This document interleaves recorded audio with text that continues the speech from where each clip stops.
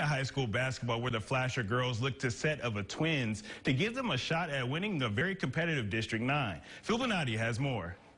The Flasher Bulldogs have high expectations for this season, and it starts with the Alt twins. Both seniors and both ready to make their one year on varsity count. On and off the floor, we're good athletes, good students, and we pay attention to our grades. So being good leaders for the team, it's just an automatic response, I guess. Being fraternal twins, Coral and Cameron bring scoring and size to the Bulldogs. Both have quickly stepped into leadership roles in the opening weeks of training camp. You have like a great source of connection when you have a family member or any other relative on the team.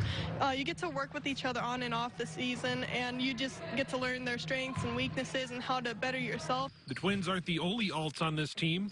Heidi Alt, their mom, is the head coach but she makes it a point to treat her girls like any other player on the team. They know that what happens here is here. They've got really good sense when it comes to that. So, and at home, we really don't talk about it all that much. If there's something, we might talk about the ride over back home, but after that, it's like any other normal family. When it comes to Flasher this season, reaching new postseason heights means it has to be alt in the family.